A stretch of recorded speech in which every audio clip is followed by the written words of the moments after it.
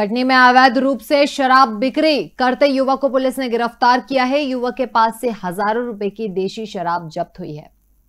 अवैध शराब की बिक्री करने वालों के खिलाफ पुलिस सख्ती से पेश आ रही है। कटनी पुलिस अधीक्षक अभिजीत कुमार रंजन के निर्देश पर एनकेजे थाना प्रभारी नीरज दुबे के नेतृत्व में एनकेजे पुलिस ने एक युवक को अवैध रूप से शराब की बिक्री करते हुए गिरफ़्तार किया। पुलिस को सूचना मिली थी कि युवक गोबराधरी के मुर्गी पोल्ट्री फार्म के पीछे बने कमरे के अंदर बड़ी मात्रा में शराब रखा हुआ है और अवैध रूप से शराब बिक्री कर रहा है। सूचना मिलने के बाद पुलिस ने घेराबंदी कर युवक के पास से करीब उनतीस हज़ार की शराब जब्त कर उसे गिरफ़्तार कर लिया है।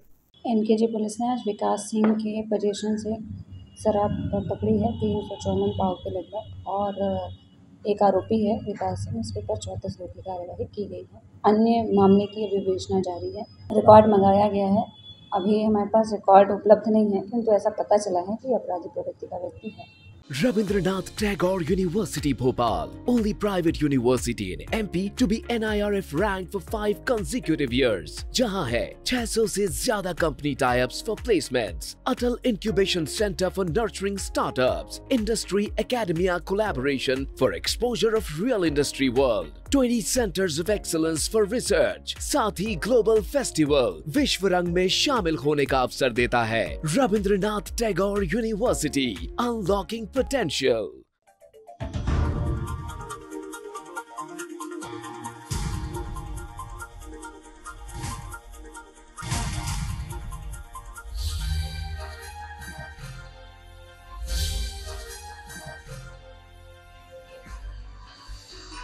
आप देख रहे हैं दखल न्यूज़।